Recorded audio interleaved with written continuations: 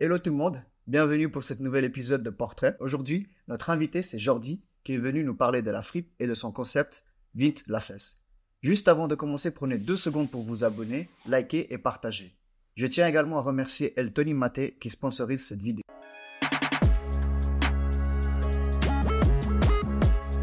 Ça va Salut Jordi, comment tu vas? Ouais, tranquille, hein, ça va, bien, merci. Merci euh, d'avoir euh, accepté notre invitation. Mais merci à toi, merci à toi. Est-ce que déjà, avant de commencer, t'es bien installé? Ouais, tranquille, ouais, le fauteuil, il est bien, hein, j'avoue. hein. Il est bien? Ouais, non, il est bien. Ça- Je suis bien installé, tranquille, ouais, ouais. Merci, non, c'est gentil. Merci beaucoup Jordi. Euh, Est-ce que peut-être pour ceux qui ne te connaissent pas, tu peux te présenter très brièvement? Ouais, bien sûr, et, bah, je m'appelle Jordi, j'ai 30 ans, j'habite Lausanne. J'ai toujours habité à Lausanne, euh, je suis né ici en Suisse. Et euh, en gros, euh, voilà, je me suis lancé un peu sur ma page Insta cet été. J'ai l'impression que je suis le dernier à avoir Instagram depuis le temps que ça existe. non, c'est fou, hein, parce que moi j'étais souvent sur Facebook. Et puis en fait, ça fait plusieurs années ben, que j'ai envie de lancer ma fripe en fait. Ok. Ouais, donc euh, là je me suis mis sur Insta, j'ai pas encore de boutique, de shop, de magasin, on peut appeler ça comme on veut. Mais ça va arriver, ça viendra. Donc voilà.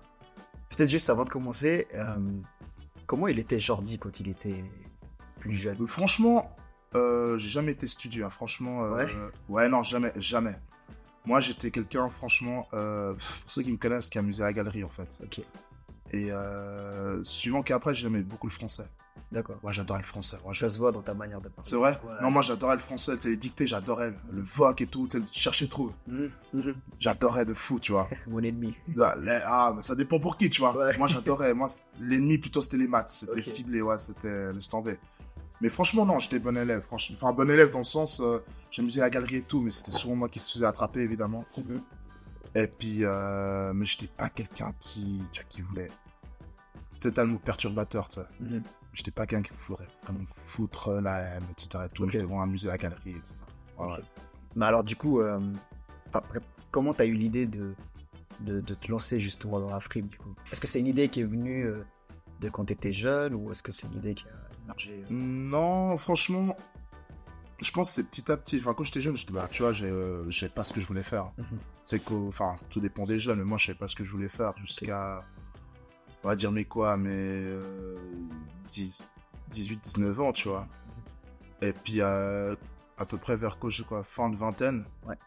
C'est là vraiment. euh, j'avais, enfin, même un peu avant, j'avais déjà ce concept un peu de. Enfin, ce concept, cette imagination de dire, j'aimerais bien ouvrir quelque chose et tout. C'est un truc dans la tête, tu vois. Mhm. Et puis, euh, tu sais, avec les musiques, les fringues, euh, etc. Je dis, vas-y, pourquoi pas? Et puis après, c'est vrai qu'on me disait beaucoup, je te verrais bien là-dedans. Mhm. Et puis, c'est un peu, ça a confirmé mon choix, tu vois. Je me dis, vas-y, maintenant, je me lance. Puis petit à petit, tu vois. Et puis euh, là, pour qu'on puisse comprendre un peu euh, ton état d'esprit, t'es plutôt, tu fais, tu fais plutôt en ligne ou plutôt physique? Les ventes, Bah, les deux. Les deux. Comme je suis sur Instagram, ça se passe, bah, c'est de la, en ligne, tu vois, Ok. entre guillemets. Sur un réseau, une plateforme, bah, c'est une plateforme, enfin, un réseau social, tu vois. Sociaux, pardon. Et puis, euh, les gens viennent chez moi.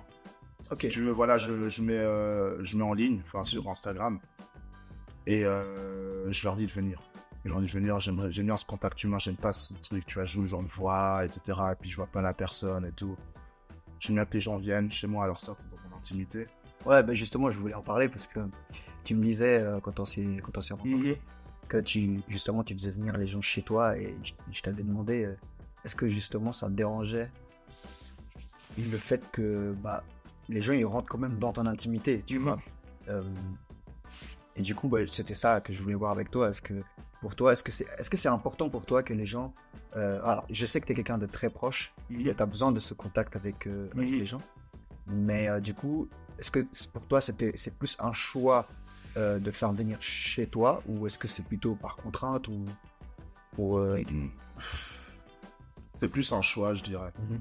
Plus un choix, tu vois. Enfin, les gens, quand même, ils voient un peu mon univers, tu vois. C'est vrai que moi, j'aime beaucoup la déco, tu vois. Ouais, ouais, j'ai. J'aime beaucoup la, la, la- la déco et tout. Donc, euh, comme ça, ils voyaient à peu près à quoi ça pourrait ressembler là, que le, le jour où j'ouvrirai ma fripe, tu vois. Mhm. Alors, ça n'a rien à voir d'une fripe chez moi. Alors, oui, j'ai pas mal de d'habits, de, des, ça peut être des, ab- des tableaux, des livres, et qu'on va voir un peu euh, avec euh, le streetwear, la pop culture, etc. et tout, tu vois. Mhm. Mais euh, je trouve important comme ça. Pour moi aussi, je leur accorde aussi une confiance, tu vois. Ouais. Une sorte de confiance. Et puis, j'ai toujours eu des bons retours. Mhm. Avec toute l'humilité, hein, mais j'ai toujours eu des bons retours. Et puis moi, ça, bah, ça me touche, tu vois. Donc, les gens, ils viennent. Puis généralement, je suis, ils sont assez à l'aise. J'essaie vraiment de les mettre à l'aise. Mhm. Premièrement, tu vois. Donc, ouais. Puis, euh, et aussi, euh, j'ai vu euh, ta manière de d'aborder. toi, déjà, est-ce que enfin, tu les qualifies de, de clients tes, Ouais, tes clients, ok. ouais, ouais. Ta manière d'aborder tes clients et ta manière de vendre tes, tes, tes- tes habits. Et je trouvais ça hyper intéressant parce que, comme je te disais, t'es pas juste un vendeur, un simple vendeur. Tu viens, tu donnes l'article, en échange, on te donne l'argent et puis ça s'arrête là. T'es euh, t'es quelqu'un qui, qui aime bien raconter des histoires, projeter la personne, euh, où est-ce, quand est-ce qu'elle pourrait porter, donc quelle occasion, et t'aimes Mhm. bien euh, raconter tout ça et je trouvais ça hyper intéressant.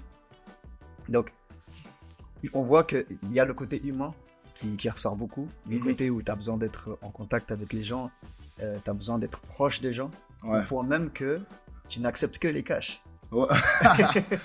Franchement, pardon. Ouais, mais, mais pour moi, c'est important. Déjà, pour commencer le côté humain, moi, c'est. C'est important. Et puis, ça se perd gentiment, tu vois, déjà dans le commerce. T'as ces caisses automatiques, enfin, t'as juste ces caissiers bah, qui sont là debout. Ils sont en mode vigile. Oh, t'as payé. Enfin, tu sais, il y a plus euh, cette proximité un peu, tu vois, ce, ce contact et tout, bonjour, etc. et tout, tu vois. Et moi, je voulais garder ça, même le cash, tu vois, cette transaction. Tu vois, cet échange et tout, parce que Twin, enfin. J'ai fait ça l'année passée, hein. C'est encore une fois, je suis, je suis- je suis la dernière personne à avoir Twin maintenant, tu vois. Et puis, c'est vrai que j'ai toujours été cash et tout, alors ouais, je vais dans le commerce, oui, dans les grandes entreprises, je paye par carte, tu vois. Mhm. Mais oui, pour moi, c'est important de garder ce contact humain. Et puis aussi, tu parlais de, de projeter les gens oui, sur les vêtements. Tu sais, souvent, tu vois, le, certaines, euh, certains vêtements, sais, de la frite, tu vois, ils sont un peu, euh, on va dire pas, ouais, c'est un peu extraverti, tu sais, c'est un peu, ça tape à l'œil, c'est un peu, il y a des couleurs, il y a des motifs, c'est un peu extravagant et tout, tu vois. Et puis, les gens, souvent, tu vois, sur- pour mon vécu, ils ont vu un vêtement, un article, et puis ils ont dit, ah ouais, waouh, et tout. Puis, ils étaient un peu dubitatifs. Tu sais, ils étaient là en mode, ouais, euh, je sais pas quoi mettre, j'hésite et tout, nanana. Alors moi, tu vois, enfin, après, c'est avec mon imagination, hein, puis je me dis, bah écoute, moi je te verrais bien mettre avec ça. Tu vois, tu pourrais mettre ça à un anniversaire, une soirée, un- je sais pas, une terrasse, tu sors, t'es assis dans une terrasse, vite fait et tout, nanana, ta pote. Tu vois, suivant les saisons aussi, tu vois. Ouais, ouais. Tu vois, enfin, sur où tu vas aller, la ville, euh, Mhm. où tu, enfin, il y a plein de choses. Et puis, c'est vrai que ça peut aider un peu les gens, pardon, ça peut aider, euh, je trouve, les gens qui ont la, qui mettent la difficulté à, à se projeter par rapport à- à- aux vêtements, tu vois. Et je trouve c'est une aide, et puis je trouve, euh, je mets de l'amour dans ça, tu vois. Et moi, j'adore, tu vois. Mhm. Et euh, bah après, ça arrivait, bah les gens, bah au final, bah tu vois, quand tu leur mets ça un peu dans la tête, au final, bah ils, a- ils sont là, en fait, ouais. Ouais, Ouais. Bah, mais en fait, c'est intéressant parce que moi, tu- typiquement, tu... j'avais acheté un pull Ouais, et je l'ai porté justement ce pull. ouais, Et euh, en fait, pour te dire à quel point ça m'a, entre guillemets, loin, c'est que quand je suis arrivé, parce qu'on avait fait un repas avec des amis, quand je suis arrivé, on m'a dit, mais il est trop stylé ton, ton pull. Vraiment? Voilà, mais pour de vrai, on Ouais. dit, ton pull, il est trop stylé. Et en fait, je me suis dit, alors du coup, je leur ai dit d'où il venait, Ouais, mais je me suis dit, si ça avait été un pull euh, d'une autre marque, enfin, Mhm. c'est-à-dire euh, Zara, H&M ou tous les autres, bah j'aurais juste dit, ah merci beaucoup. Mais je- tu vois, je serais pas allé jusqu'à raconter euh, euh, l'histoire de ce pull. tu vois. ouais, ok. Et ça, je pense que c'est venu parce que toi, tu me l'as, tu me l'as transmis. Mhm. Et puis moi, bah, du coup, j'ai, j'ai matière à raconter, tu vois. Ouais, Et je trouvais ça hyper intéressant. Et en préparant justement ce podcast, et puis même quand on, s'est vu, je me suis dit, mais c'est tellement important. Et je trouve que aujourd'hui, les vendeurs, ils ne font plus ce travail, tu vois. C'est juste, tu viens, bah, je te vends et toi t'achètes, et puis ciao, ça s'arrête là, tu vois. Mhm. Mais chez toi, c'était un peu différent, et je tenais à le souligner, et surtout à te dire mon point de vue. ouais. Donc, euh, C'est super gentil, non, c'est c'est très gentil. Tu sais, enfin, pour être honnête, tu sais, enfin, il y en a qui disent faut connaître la marque, faut connaître la, la matière et tout. Alors c'est vrai que j'en suis, je j'en suis pas encore à là, tu vois. Mhm. Mais ça viendra, j'en suis pas encore à là. Mais tu vois, je pense déjà juste l'idée, quand tu vois un vêtement, et de te dire, ouais, tu pourrais, mettre, tu pourrais euh, marier avec ça, euh, de- tu peux sortir avec tel et tel temps, etc. Et tout, je pense déjà que c'est déjà une bonne aide tu vois, pour la personne, tu vois. Ouais. Et puis, bah, tant mieux si t'as eu des bons retours, et puis c'est gentil euh, bah, de, de faire savoir, etc. Tu vois. Ça touche, c'est gentil. Et euh, je voulais aussi voir avec toi, est-ce que toi, tu as une idée de, de l'impact que ça a, la fripe, aujourd'hui Ou l'impact que ça peut avoir dans le futur? Ah, c'est une bonne question. C'est une thèse, hein. ah, C'est une thèse. C'est une thèse, non. T'as quatre heures. non, franchement. L'impact que ça peut avoir aujourd'hui et puis plus tard. Plus tard, ouais, ou même aujourd'hui. Ouais. Parce Mais- qu'on voit beaucoup de gens aujourd'hui qui sont très. euh, c'est limite devenu à la mode, hein, le, le fait de porter, euh, euh, je vais dire, les habits de seconde main. Seconde main, ouais, ouais. Et en fait, ce que je trouve impressionnant, c'est que moi, je suis pas né en Suisse. Quand je suis arrivé ici en Suisse, Mhm. euh, bah, en fait, je m'habillais principalement que des habits de seconde main parce que ça coûtait moins cher. Bien sûr. Mais aujourd'hui, je trouve que dans la fripe, les habits, c'est pas forcément les moins chers. Enfin, le prix, il est pas forcément euh, adapté à, Ouais. justement à nous quand on est arrivé en Suisse. Tu vois? Ça a changé aussi, tu vois. Ouais, justement. Et du coup, en fait, c'est Ouais. le concept en lui-même qui a changé. C'est c'est Mhm. plus des habits pour euh, les gens qui avaient pas les moyens, mais c'est devenu carrément euh, le truc à faire aujourd'hui, tu vois. Ouais, c'est. Comment je pourrais expliquer ça? C'est très intéressant ce que tu dis. Mais c'est. Pour moi, c'est chaud à répondre. Enfin, aujourd'hui, c'est vrai que j'entends, t'es en, en Suisse, là, oh, la c'est cher, suivant quelle ville aussi, c'est cher, etc. Après, l'impact, euh, bah, c'est vrai que ça. Ça fait beaucoup penser aussi, tu vois, alors, alors aux parents. Oui. Euh, mais ma mère s'habillait comme ça et Oui. tout, nanana. Puis c'est aussi une, une certaine population qui aime ça, tu vois. Tu vois, et puis aussi la fripe, c'est, on dit, c'est écolo, hein, tu vois, c'est, de la, Ouais, en tout cas, c'est le but recherché. c'est le but recherché, tu vois. Donc ça, en premier temps, c'est aussi un gros impact. On parle beaucoup, c'est l'écologie, etc. et tout. Ça touche aussi une certaine population, tu vois. Pardon. Mais euh, plus tard, franchement, ouais, je je saurais pas te dire. Est-ce que, en fait, alors peut-être pour simplifier la question, pour toi, est-ce que tu as l'impression que c'est un effet de mode ou est-ce que c'est plutôt un état d'esprit? Ah. je pense franchement, mais c'est intéressant. Franchement, je pense que de ce que je vois, moi, il y a quand même. euh, ça dépend des générations, tu vois. Ça dépend des générations. et- Moi, je dis qu'il y a des deux. Ouais. Il y a vraiment des deux, tu vois. Moi, tu vois, je suis une 93, tu vois. Oui. Ceux. Tu vois, je vais pas pointer du doigt, je, je, je suis pas là, je vais pas être là-dedans, mais mon point de vue, je pense ceux qui sont nés un peu des 2000, comme ça et tout, je pense c'est un peu effet mode. Ouais. C'est un peu mon, mon ressenti, tu vois. Ouais, clairement, clairement. Mon ressenti, parce qu'ils voient, alors je mets ça et tout, et puis. Oh, ouais, je pense que c'est un peu un effet mode. Ok. Mais ceux qui sont nés un peu avant, je pense qu'il y a quand même euh, ce, ce truc un peu de. C'est le patient, etc., tu vois. Mhm. Je, je, je sais tout, enfin, entre guillemets, je sais d'où ça vient, j'avais vu ça à l'époque et tout, nanana. tu vois, il y a vraiment un peu cette passion. Après, je peux me tromper, hein, je pense que parmi les, les, les générations un peu futures, tu vois, de 2000 ça et tout, je pense que certaines, il y a aussi cette passion parce que ils sont aussi renseignés, etc., ils regardent beaucoup et tout, tu vois. Oui, oui. Ça, je veux pas commencer à porter tout le monde du doigt, tu vois. Non, non, mais c'était plus euh, pour voir toi comment est-ce que tu, tu voyais euh, justement euh, la fripe aujourd'hui. Est-ce que tu le voyais plus euh, plutôt comme un effet de mode et du coup, bon, bah, de toute façon, ça va disparaître dans 2-3 ans, ouais, donc. euh, Ah, je pense pas que ça va disparaître. Je Ouais. pense pas, tu sais, enfin. Parce que tu sais, suivant la personne comment elle s'habille, Mhm. ça il y aura un tape à l'œil, tu vois. Mhm. Et euh, il y aura ce délire toujours de purée, t'as chopé ça où? Ça vient d'où? C'est la flip, j'ai pas vu. Et puis du coup, ça peut aller dans la tête des gens, tu vois. Oui. Ah ouais, ok, tout. Après, t'en as qui vont se dire, ouais, pourquoi pas, je vais me lancer là-dedans, j'ai essayé ça et tout, petit à petit, tu sais. Tu vois, elle a des yeux comme tout le monde, tu vois. Tac, ça tape à l'œil, bam. Et tout, tu vois. Et puis la fripe aussi, je trouve, comparé aussi aux habits de la mode d'aujourd'hui, comme c'est des Zara, H&M et tout, ce qui sort un peu du lot, je trouve. Ouais. Tu vois, c'est un, c'est, c'est un style, entre guillemets, particulier, tu vois, je veux dire. Oui, et puis c'est unique aussi. C'est unique, exactement, c'est particulier. Du coup, ça tape plus à l'œil. Oui. Après, c'est euh, suivant comment, comment euh, la personne s'habille, il faut aussi peut-être oser pour certains, tu vois. Oui. Pour certains, tu vois, je veux dire. Moi, comme je suis vé, euh, vêti là et tout, enfin, peut-être certains n'oseraient pas, je ne sais rien, tu vois. Mettre un béret vert, peut-être pour certains, c'est oh, c'est trop, euh, tape à l'œil et tout. Mais après, voilà, mais il y a beaucoup qui sont comme ça, Mhm. qui veulent rester dans le moule et tout. Tant mieux pour eux. Dire, tu vois, moi, c'est vrai que je mets des trucs, des fois, il faut oser, hein. Ouais. Je vais te le dire, cash, tu sais, cet été, je mettais des crop tops.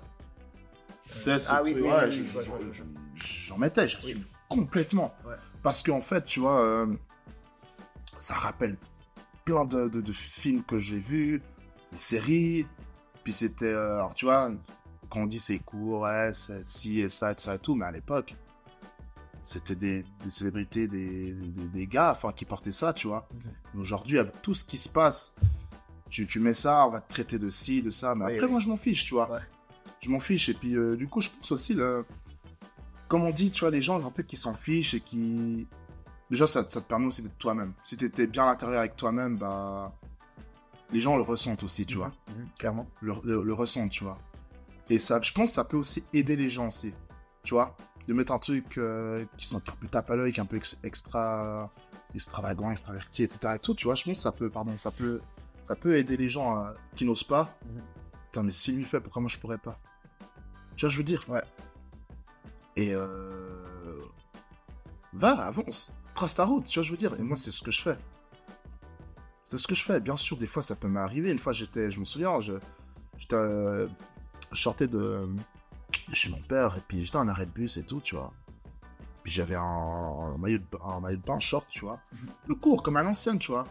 Top. C'est dans l'été, tu vois. Mhm. Des jeunes ont vu. Je pense qu'ils avaient quoi? Allez, des petits ados. 12, 13 ans. Remarque 14 ans, peut-être, tu vois. Il y a eu des moqueries, mais je me suis dit, ah, mais ils ont pas capté, c'est pas grave. Ils peuvent pas capter. Ouais. Ils peuvent pas. T'aurais voulu quoi? Je les embrouille, je les monte. euh, on Non, tu vois, je veux dire, non, mais ça va. Non, mais ça calme, tu vois, je veux dire. Mhm. Pas grave, je dis, ah, ils ont pas capté, c'est c'est comme ça. Mais, mais t'en as eu euh, euh, plusieurs expériences dans ce style-là ou... N- Non, alors, de regard peut-être. Ouais. Après rigoler, c'était juste peut-être cette, cette fois-ci, tu vois. Mhm. Mais je sens, mais c'est comme ça, parce que les gens, ils ont plus cette, habitude.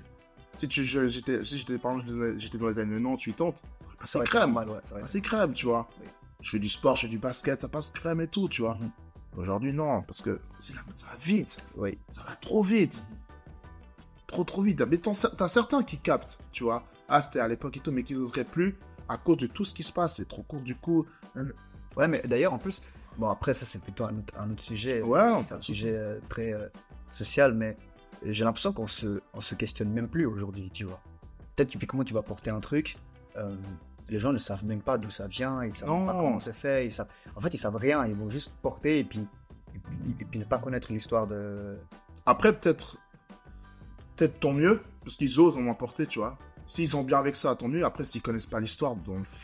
Alors, t'as des. Tu vois, ceux qui portent quelque chose, ils connaissent pas l'histoire, en soi, bah voilà, ils le portent, tu vois, je veux dire. Mais ceux qui. qui portent pas et qui connaissent pas l'histoire, c'est différent, tu vois, je veux dire. Ouais. C'est différent, tu vois. Mhm. Et puis, euh, tu vois, pour, pour le crop top, tout simplement, ça vient un peu des footballeurs américains, tu vois. C'est vrai. Euh, 70 ans, j'avais lu ça. Tu sais, souvent, à la fin des matchs, t'as les habits un peu dé- déchirés et tout. Puis, ah, dis, vas-y, on peut faire un délire avec ça. Mhm. C'est Julien de 8 ans maintenant, elle fait mode de fou. Et puis, moi, quand j'ai vu ça, je dis, putain, mais c'est un délire. Mhm. Mhm. T'as un flow, t'as un délire, tu vois, je veux dire? Ouais. Mais aujourd'hui, euh, voilà, c'est euh, le crop top est vu euh, beaucoup pour les personnes féminines aussi, tu vois. Oui. Féminines et tout.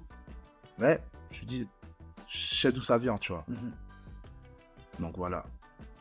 Ouais, c'est euh, c'est intéressant tout ce que tu viens de dire parce qu'en vrai, pour le crop top, je le savais pas.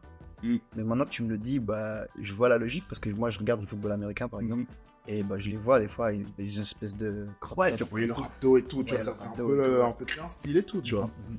Après, n'importe toute la, tant que la personne se sent à l'aise en fait avec ça, tu En vois. soi, ouais, c'est vrai. Tu vois, je veux dire, tant que la personne se sent à l'aise avec n'importe quel vêtement, hein. Mhm. tu vois, je veux dire, n'importe quel vêtement. Et comme on dit de base, les gens font ce qu'ils veulent en fait, tu vois. Ouais. Tu vois, ils font ce qu'ils veulent.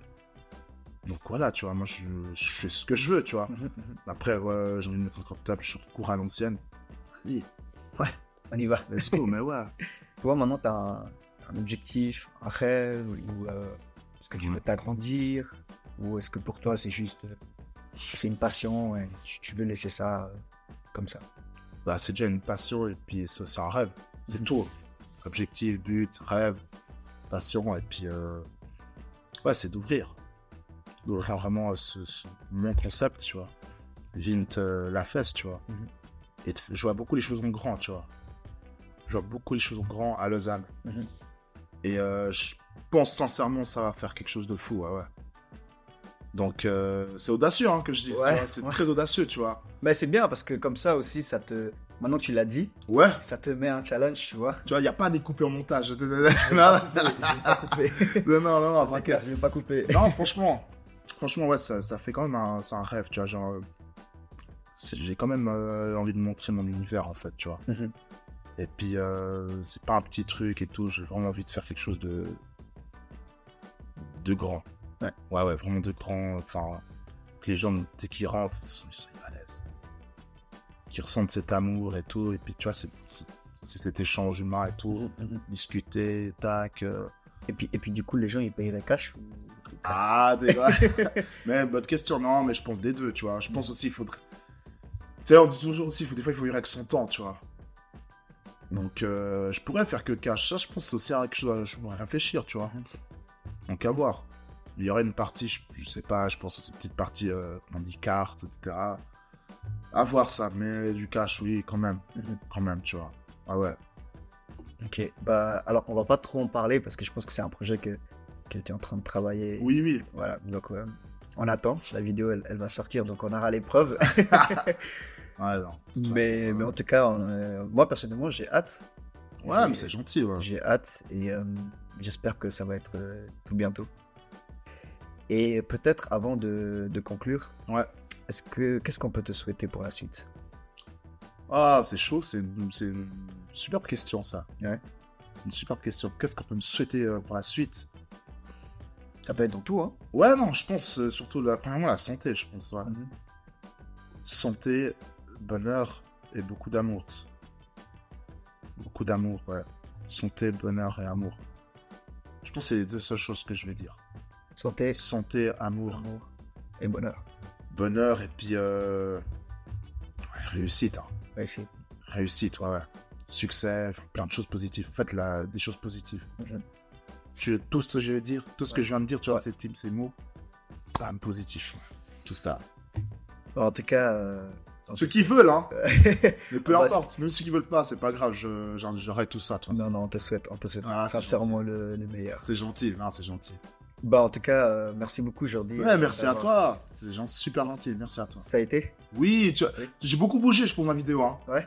Tu as des, tu vois, Ouais, ouais. c'est euh, c'est nervosité. c'est toi. C'est c'est- c'est Ouais, ça. c'est ça bien sûr, c'est la nervosité, mais euh, ça, y- ça, ça a été. Ouais. Parce que c'était ta première, c'est ça? C'est ma première fois, ouais. c'est ma première fois. Tu reviendras. Oui, franchement, avec plaisir. Ok. Et merci à toi, franchement. Mais merci, top. merci. Merci également à vous d'avoir suivi cet épisode. Moi, je vous dis à la prochaine.